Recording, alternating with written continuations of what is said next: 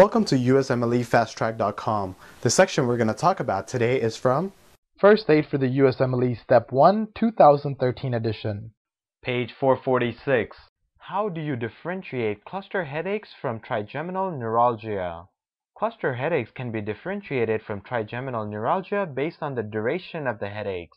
Describe the trigeminal neuralgia related headaches.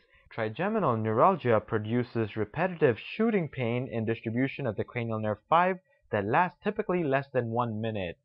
Describe the duration of pain associated with cluster headaches. The pain in cluster headaches lasts much longer than it does in trigeminal neuralgia because in trigeminal neuralgia it only lasts less than a minute, but in cluster headaches it lasts more than 15 minutes. For more information on this topic, click on the link in the description section below. For a full USMLE Step 1 review, be sure to check us out at usmlefasttrack.com where we help you review the entire first aid for the USMLE Step 1 with high quality videos and hundreds of detailed pictures for a better understanding of the material. So to learn from the best USMLE review book, be sure to check us out at usmlefasttrack.com.